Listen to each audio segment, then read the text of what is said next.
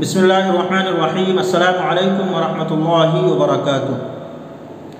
English toilet का इस्तेमाल करना कैसा है? नंबर दो, जो इंग्लिश पेशाब खाने होते हैं इंग्लिश यूरिन स्पॉट होते हैं, उसके अंदर पेशाब करना कैसा है? ये दोनों मसाइल इस क्लिप में बहुत आसानी के साथ हल कर दूँगा। इसके बाद इस ताल्लुक़ से आपका एक भी सवाल बाकी नहीं रहेगा। इन टॉयलेट कैसे करना है, इस ताल्लुक़ से आइए अल्लाह के नबी सल्लल्लाहु अलैहि वसल्लम का फरमान देखते हैं, उसके बाद इसके ऊपर बात करेंगे। हज़रत सुराक़ा बिन मालिक रज़ी तु से मरवी है कि अल्लमाना रसूलुल्लाह सल्लल्लाहु अलैहि वसल्लम इज़ा अन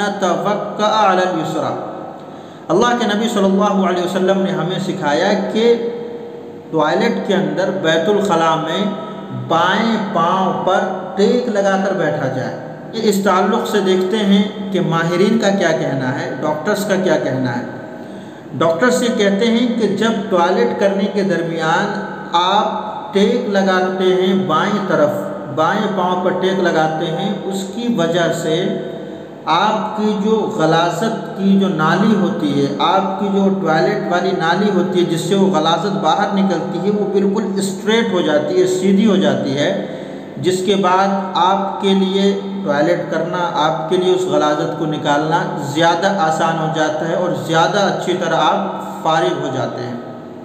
लेकिन इंग्लिश टॉयलेट के अंदर ये चीज़ मफकूद है। इंग्लिश टॉयलेट के अंदर ये चीज़ें मुमकिन नहीं हैं। आप बाएँ पाँव पर उसके अंदर वो बिल्कुल कुर्सी नुमा होती है, उसके ऊपर बैठ करके टॉयलेट कर सकते, करते हैं। जिसके अंदर नापाक होने का भी बहुत ज़्यादा खदशा होता है। लेकिन इंग्लिश टॉयलेट का इस्तेमाल करना हराम या नाजायज़ नहीं है, बल्कि वो जो नॉर्मल हालत में जो अल्लाह के नबी वसल्लम ने बताया है, उस तरीके से टॉयलेट करना ये सुन्नत है और इंग्लिश टॉयलेट का इस्तेमाल करना खिलाफ सुन्नत है। मतलब आपका जो अमल है टॉयलेट करने का, वो सुन्नत के ख़िलाफ़ अमल है, अगर आप इंग्लिश टॉयलेट का इस्तेमाल करते हैं तो। इसी तरीके से जो इंग्लिश पेशाब खाने होते हैं, उसके अंदर खड़े होकर पेशाब करना पड़ता है। इस ताल्लुक़ से आइए, हदीस पाक देखते हैं।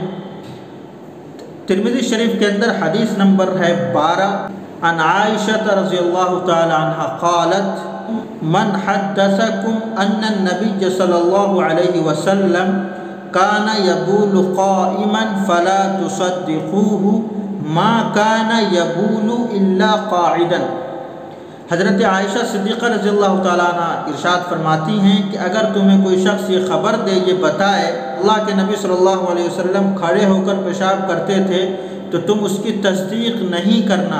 अल्लाह के नबी सल्लल्लाहु अलैहि वसल्लम हमेशा बैठ कर ही पेशाब करते थे। इसी ताल्लुक़ से तिरमिदी शरीफ के अंदर दूसरी हदीस है। हदीस नंबर है थर्टीन, तेरह। अन हुसैफ़त रज़ी अल्लाह तन अन नबी सल्लल्लाहु अलैहि वसल्लम अता सुबात कौमिन फ़बाल अलैहा क़ाइमन। हज़रत हुजैफ़ा रज़ी तशाद फरमाते हैं कि अल्लाह के नबी सल्लल्लाहु अलैहि वसल्लम एक कौम के कूड़े के ढेर से गुज़रे तो उन्होंने, यानी अल्लाह के नबी सल्लल्लाहु अलैहि वसल्लम ने खड़े होकर पेशाब किया। अब एक हदीस है हज़रत आयशा सिद्दीक़ा से, जिसके अंदर बैठ कर पेशाब करना। और दूसरी हदीस है हज़रत हुजैफ़ा से, जिसके अंदर अल्लाह के नबी सल्लल्लाहु अलैहि वसल्लम ने खड़े होकर पेशाब किया। इन दोनों अहादीस को मद्देनज़र रखते हुए फ़ुकाह कराम ने एक मसाला बताया।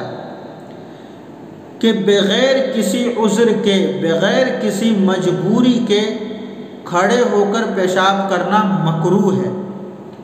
लेकिन अगर मजबूरी है तो आप खड़े होकर पेशाब कर सकते हैं, आपको इसकी इजाज़त है। जैसा कि अल्लाह के नबी सल्लल्लाहु अलैहि वसल्लम ने कूड़े के ढेर पर खड़े होकर पेशाब किया, क्योंकि बैठते तो बदन के नापाक होने का, कपड़ों के नापाक होने का खदशा था।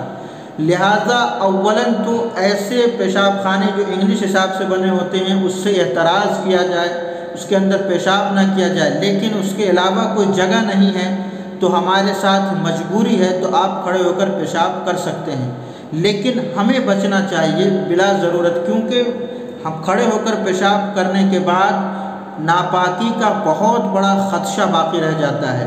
लिहाजा इंग्लिश टॉयलेट का इस्तेमाल करना या इसी तरीके से इंग्लिश पेशाब खाने का इस्तेमाल करना, ये दुरुस्त तो है, लेकिन खिलाफ सुन्नत है। बशर्ते मजबूरी आप इसका इस्तेमाल करें। अल्लाह रब्ज़त हम सबको अमल की तोफ़ी अदा फरमाए। इस क्लिप को अपने दोस्त अहबाब अक़रबा रिश्तेदारों के साथ ज़रूर शेयर करें, ताकि उन तक भी ये सही मालूम पहुँच सके। मुझे अपनी खसूस दुआ में याद रखें। वालकम वरहमल वर्का